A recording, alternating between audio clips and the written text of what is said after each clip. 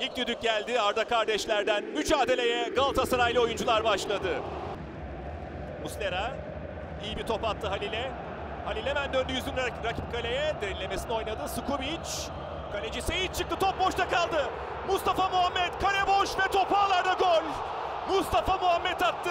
Galatasaray 1-0 öne geçti Konya Spor karşısında. Mustafa Muhammed Üçüncü golünü attı ligde.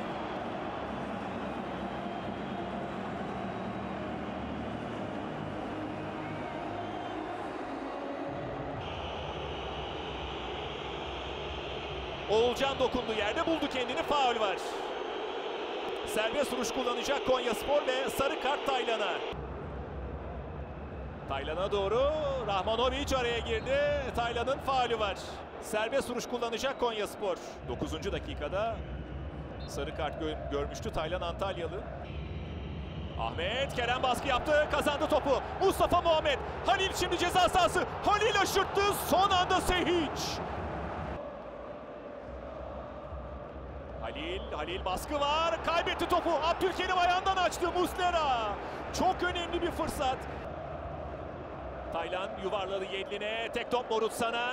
Morutsan çekti soluna. Morutsan şut pozisyonu. Bir de sağına. Bir de soluna. Bir de sağına. Morutsan girdi. Morutsan. Faal bekledi Abdülkerim.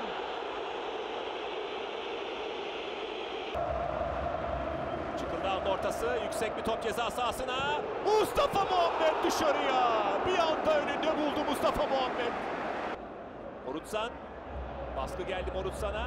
Çıkıldao verdi pasını Halil'e. Halil Dervişoğlu girdi içeri. Halil vurdu.